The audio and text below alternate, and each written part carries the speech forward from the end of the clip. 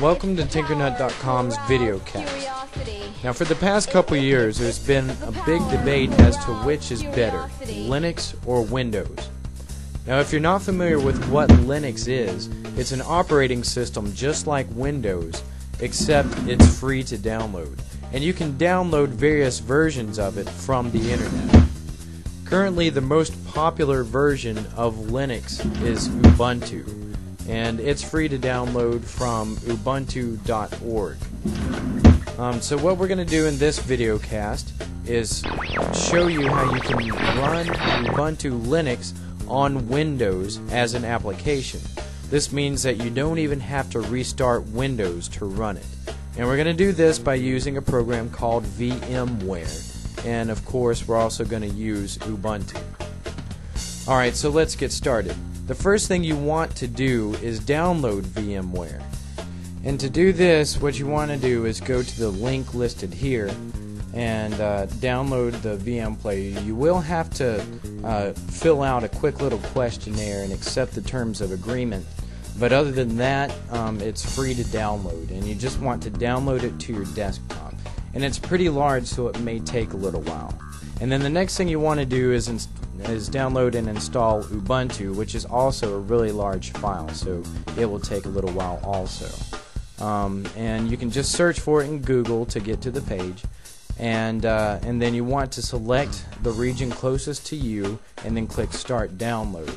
And just save that to your desktop as well. And again, it may take a little while. Um, and then the third thing you want to do is download the OS image file, which uh, which will be pretty quick because it's a it's a really small file. And just uh, type in this URL, and it's a direct link to the zip file. So right when you hit enter after you type it in, um, you'll be able to download it. So uh, save that to your desktop also.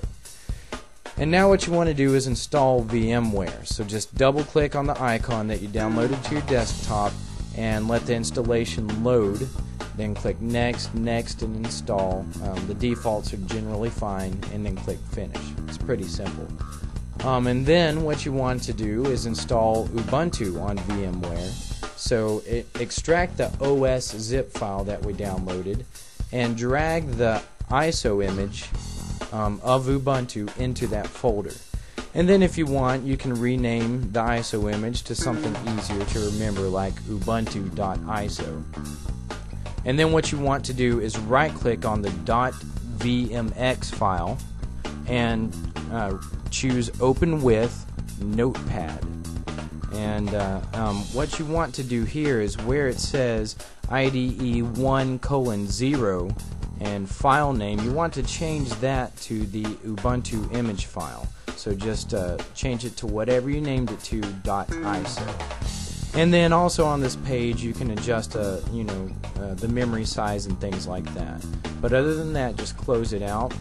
And uh, um, now all you have to do is double click on the .vmx file, and then just click OK for that little warning. And it should automatically start loading the Ubuntu ISO. Um, and you can uh, just click Start Ubuntu, Start or Install, and just wait for it to load. Now, keep in mind that this isn't the actual installation. This is uh, just a, a, what's called a live CD. So if you were to actually close out of it, then um, you would you would lose anything that you would uh, that you were working on for the most part. So uh, um, just keep that in mind. This isn't an actual installation, so you can't actually install things on it. Um, it's just mainly to test out Linux without actually having to install it on a separate partition or anything like that. Well, that's it for this tutorial. For more, go to tinkernut.com.